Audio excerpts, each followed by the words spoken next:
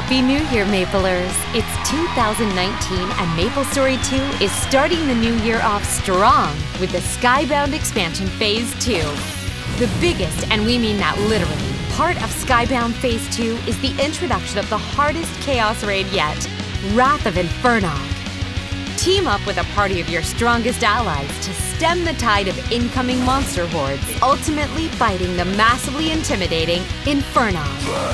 Stand your ground, and you'll be handsomely rewarded with the very first legendary accessories in the game. Looking for a solo challenge? January's update also introduces the Fortress Rumble, where Maplers can face off against the five Sky Fortress faction leaders to train and prove your skills.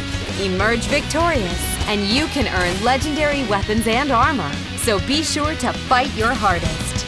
Don't think we'll let all these new battles hog the spotlight. In addition to exciting new combat, Maplers will discover items celebrating 2019 as the Year of the Pig and earn lucky pouches through New Year's events.